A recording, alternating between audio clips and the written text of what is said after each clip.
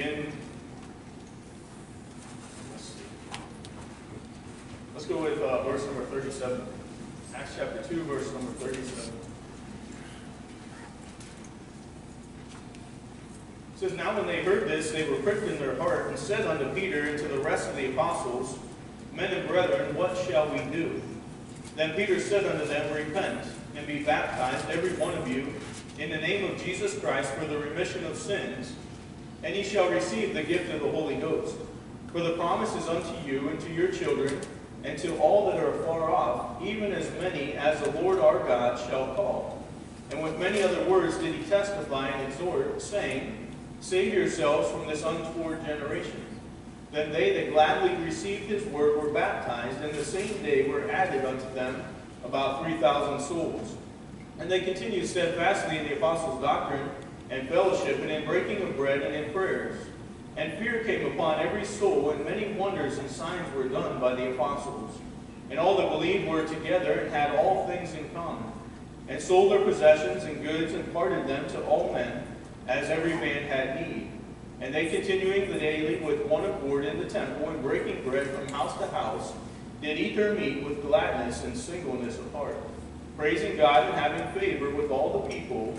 And the Lord added to the church daily such as should be saved. And so as we begin here in verse 37, we're kind of jumping in the middle of the passage, but as the apostles are preaching and they're teaching the Word of God, uh, it brings conviction on the heart of these people, and they, they say or cry out, What shall we do? They were pricked in their hearts. The Holy Spirit of God was working on them.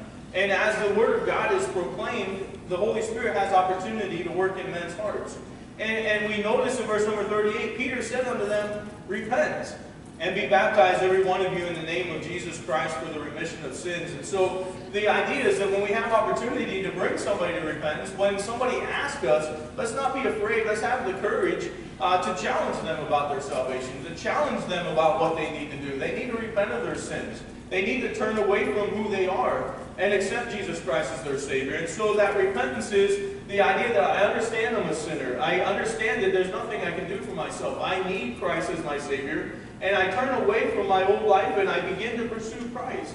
And so we see that as he's saying that, uh, repent. And so that would be the salvation part. Be baptized, every one of you, in the name of Jesus Christ for the remission of sins. And again, we're, we're baptized after we're saved. Baptism has nothing to do with our salvation. Baptism is simply an outward sign showing others that I've accepted Christ as my Savior, and I want to uh, let everyone know that.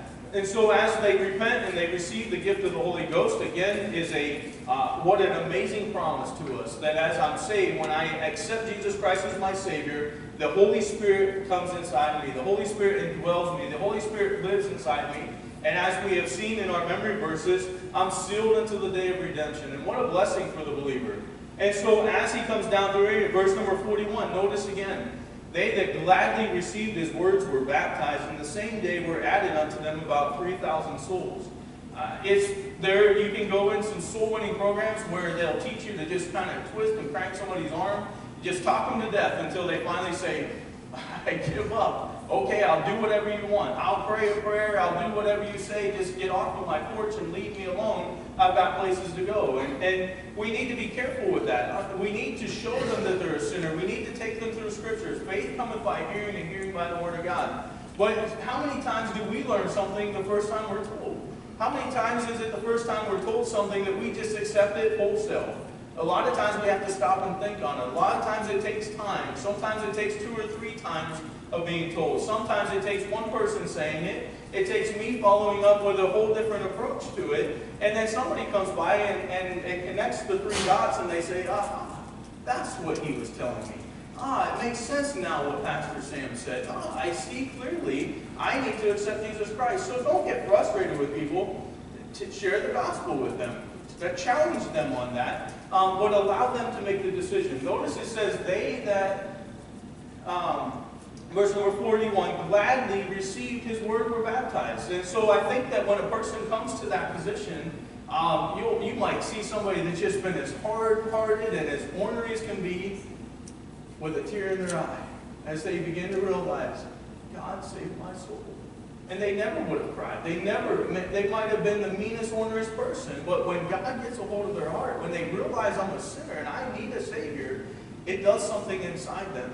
And so notice then we want to come and we're going to focus on 42 and below, but he says they continued steadfastly in the apostles' doctrine and fellowship, and breaking bread and in prayers. And so tonight, we're going to begin a study. I don't know how many weeks we'll do it on Wednesday nights, but the importance of Christian fellowship. And so we're going to focus in a little bit on fellowship. We'll set some ground uh, foundation tonight, look at some verses that we'll kind of pull from over the next few weeks. Um, but a lot of times, I want to pray, but trying to figure out where. A lot of times we hear, we might hear something from the pulpit, and I heard recently a pastor says, be careful what you repeat, because it may not be true. And I've heard it from the pulpit that fellowship's not what we're here for. Yes, it's not all that we're here for, but let's look at the importance tonight, how doctrine and fellowship go together.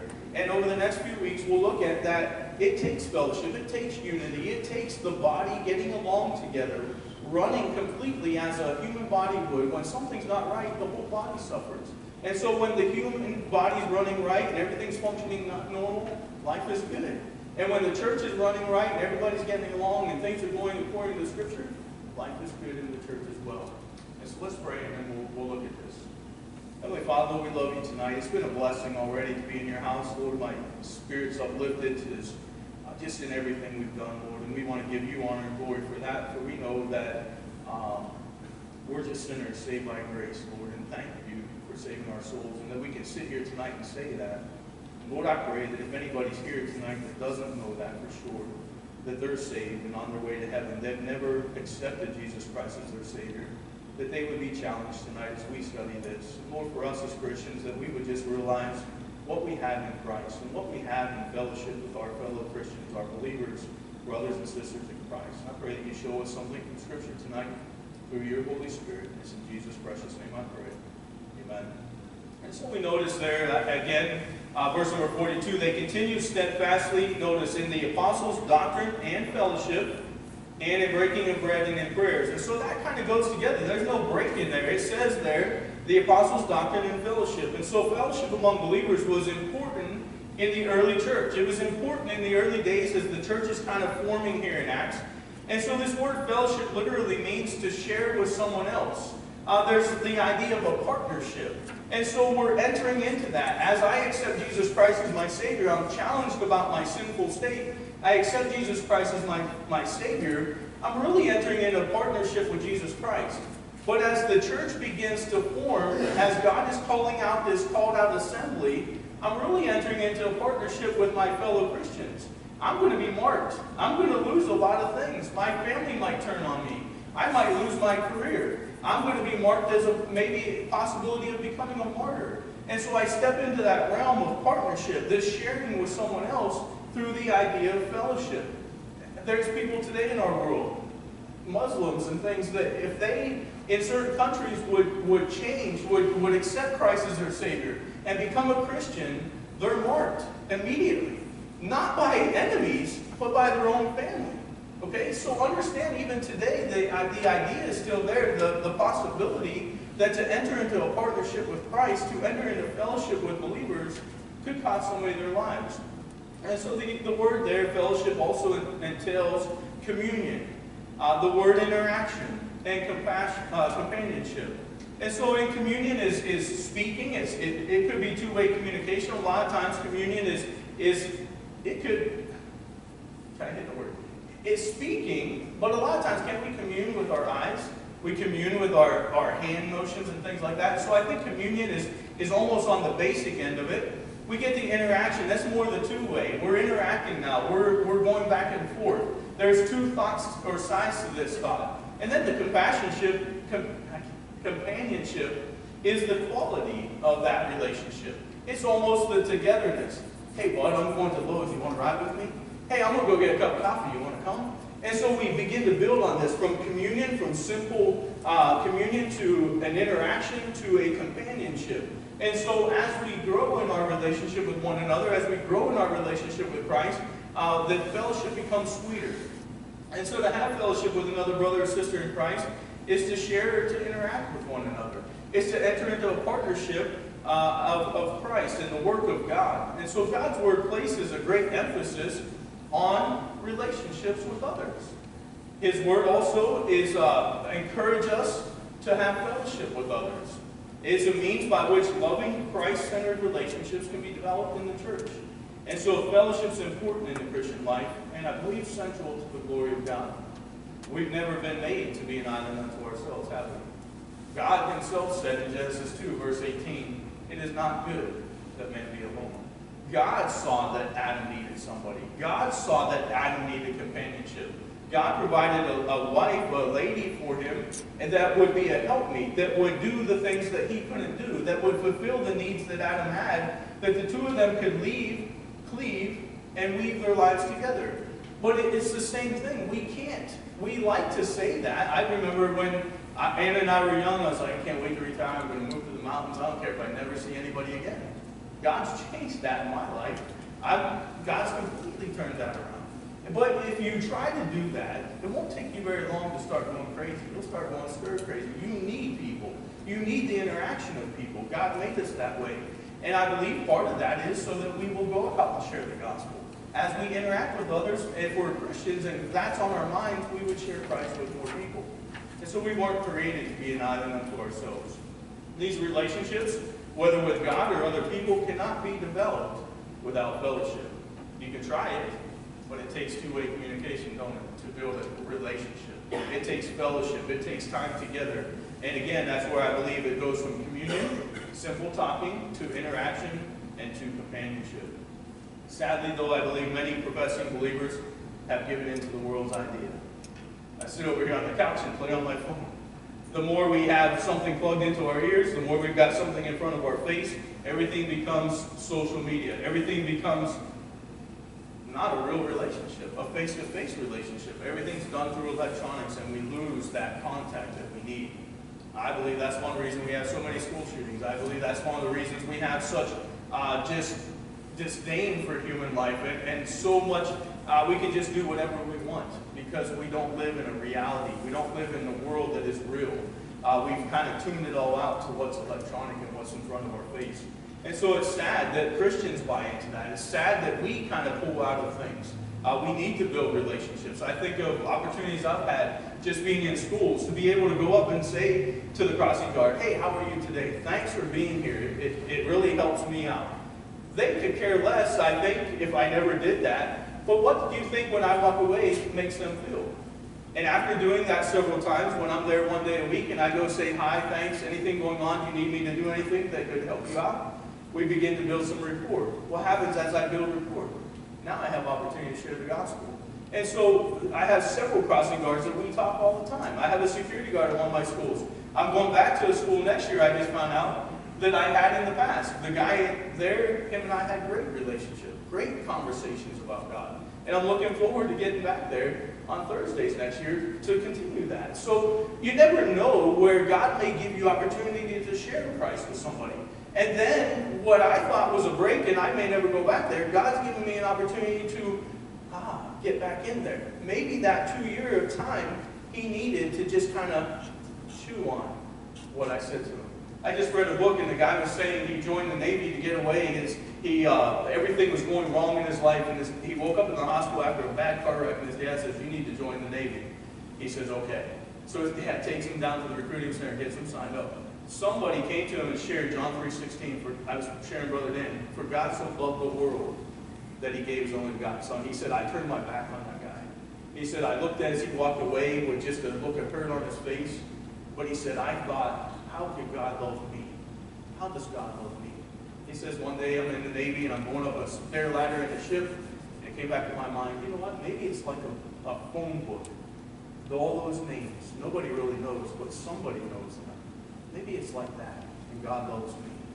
But he said it wasn't a personal relationship. But a few years later, guess who he runs into? The same guy. And the guy says, hey, ah. they begin talking, and in time, he came to accept the Lord as his Savior. We never know where God is allowing us to build rapport, build relationship, to commune with somebody. But then we have the opportunity in the church as well to build relationships. And so take advantage of it. God, I, I, believe it's important. If it comes in this list of things, they continue steadfastly in the apostles' doctrine and fellowship. There's a reason God put those together and didn't separate And so I think that doctrine is, is, uh, is connected to fellowship. Fellowship's connected to doctrine. And so the decisions in life usually will center around our desires when we get away from that. When we begin to look at us, we kind of pull ourselves away. When we look at what God has created us for and what God's desires are, we begin to invest in other people's lives. Yes, there's a chance of getting hurt. Yes, there's a chance of, of things going bad. But does God ask us to just hold back and keep it all to ourselves? No, God wants us to invest in ministry, invest in other people's lives, give them opportunity to know Him. Did He do that for me? Yes. And it cost Him everything. It cost Him His own dear Son on the cross, investing in me. And I had opportunity to say, no thanks, throw it back in His face and say, I don't want what you're wanting to give to me. And yet He took the opportunity. He took it and did it for me. And thankfully tonight I accepted it and I'm saved. And so God's Word provides no justification for us uh, to have a bad attitude or bad behavior toward fellowship. Uh, again, I think we've heard many times just said, that's not the purpose of the church. But I, I believe it is a part of the purpose of the church. And so as we begin looking at this, um, I think we'll see it over the next few weeks. Um, the application of these biblical principles, I believe, should start in the church, in the home. Uh, husbands and wives, parents and children, as we interact with one another and build relationships. And so it extends then to our outward relationships with our fellow brethren in the church um, and then out to the world around us. An immature believer, I believe, will look at these and they'll begin to say, doesn't apply to me. I don't want anything to do with that. Uh, somebody that is more mature in Christ will say, I think I need that. I think that is, is uh, purpose, one of God's purposes in that. So we will obey God's commands, and, and because of genuine Christian fellowship, uh, we will glorify the Lord. It, it is a blessing. And so tonight, let's look at just a few things as we begin uh, laying this foundation.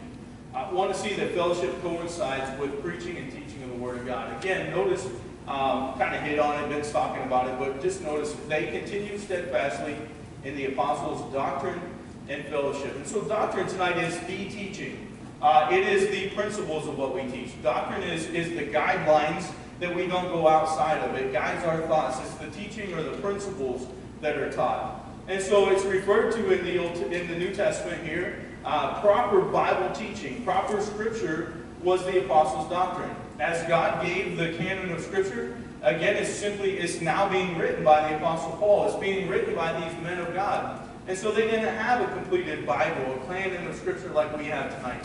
And so it was passed on. So when it was preached, it was the apostles' doctrine. If it went along with what they were teaching and preaching, it was considered the apostles' doctrine. Later now, it's Scripture, it's Bible, it's what we have in black and white. And so the word doctrine again means teaching. It's the standard. In other words, we don't just meet, as the Bible says here. They met, they continued, verse 42, steadfastly in the apostles' doctrine and fellowship and breaking bread and in prayers. Um, they didn't just meet for the purpose of fellowship. However, when they met around the Word of God, what did they enjoy? Fellowship. When you and I come together tonight, what do we enjoy? Fellowship. Whether it's through the singing, it, it uplifts our hearts. We enjoy singing together. As we lift our voices together, it puts us in, I, I pray, a, a mood, of, a, a, happy mood. It puts us in a spirit of worship. Um, it pets our minds on Christ and we fellowship together through song. We then shake hands. We have time of fellowship. We'll stand around tonight, some of us for a long time after the service talking. We enjoy the fellowship, but what was the purpose we came for? For doctrine, to hear the Word of God taught, to hear preaching and teaching from the Word of God. But they go hand in hand. As we hear the Word of God and as we come for that, we enjoy the fellowship together. We may meet for a Bible study, or we might meet for a men's meeting the purpose of it is, is to discuss business, or maybe we'll have a Bible study. But out of that usually comes fellowship. So we enjoy the time together. Another application, I believe, would be that because of our uh, understanding of the Bible, because of our relationship with the Word of God, we have fellowship with one another. I would never know Brother Dan outside of our relationship with the Word of God. It's the Word of God that drew us both to Victory Baptist Church. Dan, long before me, but we're here now, and Dan and I know each other and enjoy fellowship based around the Word of God. The same with all of us. I, I think maybe the Larices and, and uh, Jose and Brittany, the Pueblos, those are family bonds. But outside of that, all of us are here because of the fellowship of the Word of God. And so we enjoy that uh, based on our relationship with the Word of God. And so the foundational content for the believer's spiritual growth and maturity is and was the Scripture. They continued steadfastly in the apostles' doctrine, the Scripture. And out of that came fellowship. They enjoyed their time together, uh, that interaction with one another, that communion, and that began to build into um, companionship ultimately. And so the Scripture is the basis for our fellowship. It teaches us the proper way to have unity in the church and how to build proper relationships um, in, and, in and outside of the church. And so fellowship here again literally means a partnership or a sharing. And because believers become partners with Christ, we become partners with other believers in sharing the gospel. Go to 1 John chapter 1. 1 John chapter 1 and verse number 3.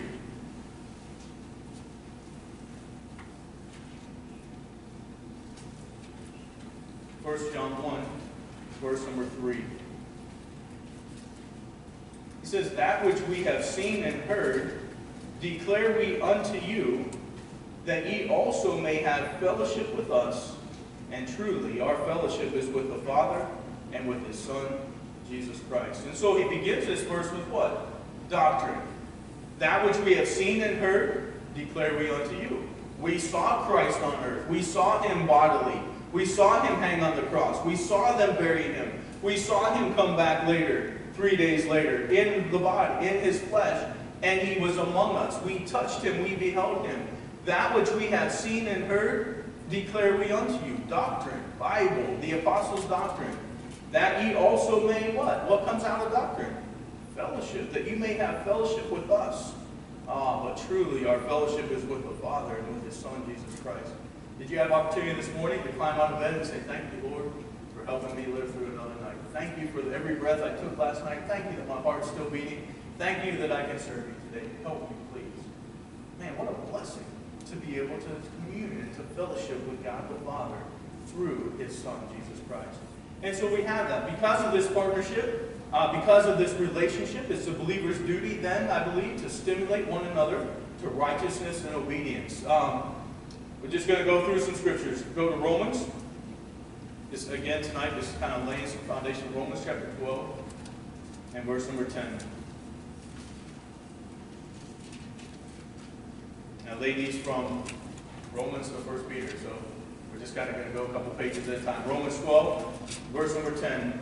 And just think, this partnership, this relationship, this communion, this fellowship that we have with our fellow brothers and sisters in Christ. Romans 12, look at verse number 10.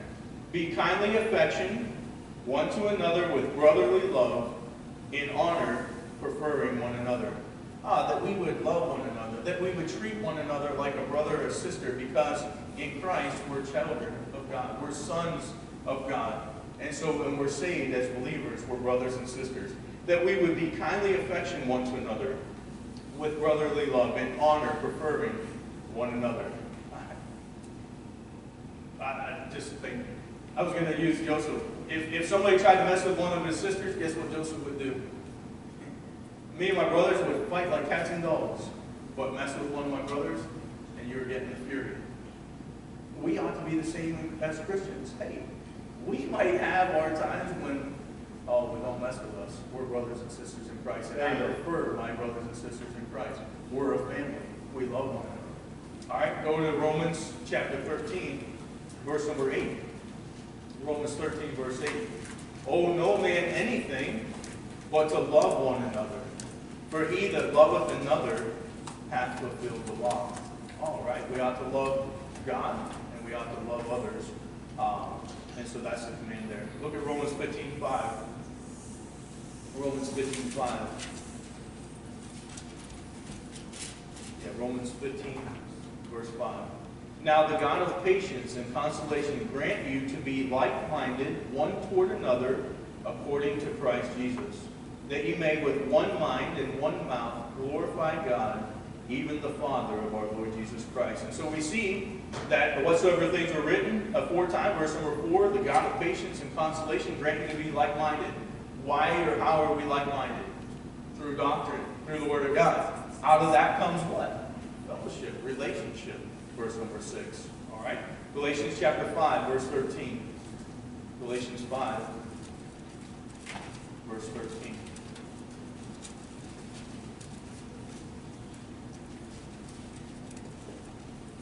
Galatians 5.13, the Bible says, For brethren, ye have been called unto liberty. Only use not liberty for an occasion to the flesh, but by love serve one another. Uh, how many of us get that wrong? It's about me, me, me, me. Uh, God says, be careful. You don't use your liberty to go sideways with somebody, but love and serve one another. Ephesians 4, verse 2. Ephesians 4, verse 2. With all lowliness and meekness, with long suffering, forbearing one another in love, endeavoring to keep the unity of the Spirit in the bond of peace. Because the Spirit, Holy Spirit lives inside of me, and you have the Holy Spirit, uh, because He has a purpose, He wants us to get along and to share the gospel, we ought to endeavor to keep the unity of, of the Spirit in the bond of peace. Look at Ephesians 4, verse number 25. Wherefore put away lying, speak every man truth with his neighbor, for we are members one of another. Uh, we're members of the body of Christ. It takes all of us. We ought to be careful in, in line with one another. Look at uh, chapter 5, verse 21. Ephesians 5, 21. Submitting yourselves one to another in the fear of God. Being subject to others. Allowing ourselves to take the second place or to take the back seat, so to say or so to speak. Look at Colossians 3 9. Just want to see that throughout the whole New Testament, we have this idea of fellowship. It comes based around doctrine, and that we fought for the purpose of unity in Christ. Colossians 3, verse 9. Lie not one to another, seeing ye have put off the old man with his deeds. We're a new man in Christ. Go to 1 Thessalonians 4 9. 1 Thessalonians 4 9. We looked at this when we studied through here. He says, verse 9, But as touching brotherly love, ye need not that I write unto you, for ye yourselves are taught of God to love one another. And we get into Hebrews, Hebrews chapter 3.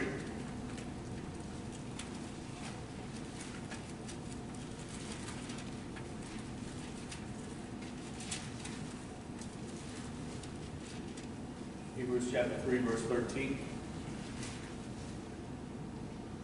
The Bible says, But exhort one another daily while it is called today, lest any of you be hardened through the deceitfulness of sin.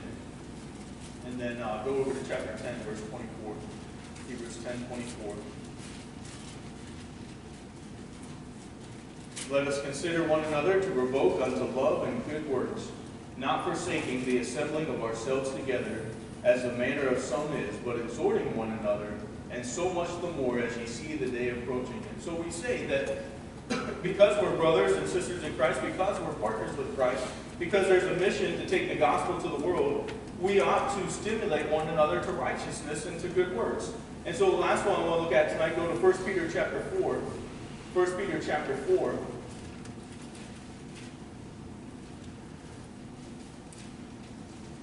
And look starting in verse number 8. He says, And above all things, have fervent charity among yourselves, for charity shall cover the multitude of sins. Use hospitality one to another without grudging.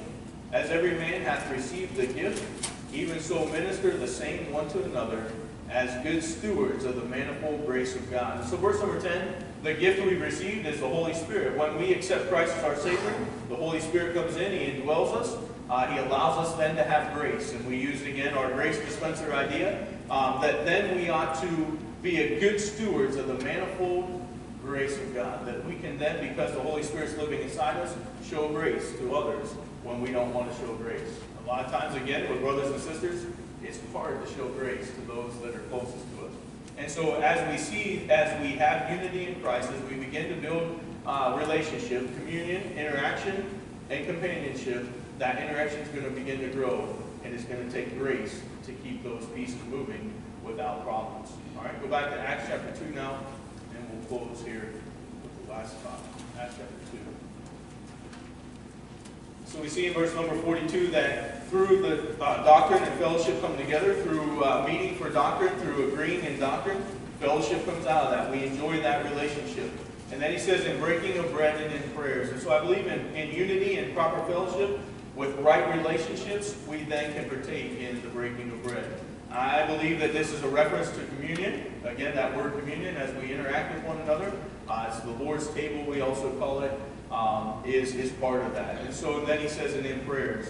The prayers of individuals and, the, and corporately as the church. And let's just look at a couple verses here in Acts. Acts 1.14. Notice that as they had um, unity, as they had fellowship, they were able to pray with power. Acts 1 verse 14, he says, These all continued with one accord in prayer and supplication with the women and Mary, the mother of Jesus, and with his brethren. And so they had fellowship. They had one accord. They had that, that communion, prayer and supplication in that. Look at verse number 24 of chapter 1. It says, They prayed and said, Thou, Lord, which knowest the hearts of all men, show whether of these two thou hast chosen. And so in fellowship, in a desire to know God's will, in a group of people that were gathered together based on doctrine, they're now praying together, seeking God's will in this situation. Uh, look in chapter 4, verse 24. Acts chapter 4, verse 24. All right. Um, we had them in prison, basically beaten and told not to speak in the name of Christ again. Uh, verse number 23, being let go, they went to their own company and reported all that the chief priests and elders had said unto them. Verse 24, when they heard that, they lifted up their voice to God with one accord and said, Lord, thou art God which made heaven and earth, the sea, and all that in them is. And so we see again that fellowship, that love uh, based on doctrine. And then tonight, one more, John chapter 14. John 14. Look at verse 13 and 14. Our fellowship, our partnership with Christ uh, through salvation. Verse number 13 of John 14 says, Whatsoever ye shall ask in my name, that will I do, that the Father may be glorified in the Son. And if ye shall ask anything in my name, I will do. Again, what a blessing to have fellowship with Jesus Christ. What a blessing to have fellowship with God the Father through salvation provided by Jesus Christ. And then it just trickles down in our relationship in the church, and then it gives us opportunity pray together, seeking God's will in our lives and in our ministry. Heavenly Father, we thank you again tonight, and again for the Word of God. Um, I pray that as we lay the foundation, looking at what this verse tells us, uh, fellowship and doctrine, and then that leads, Lord, to communion.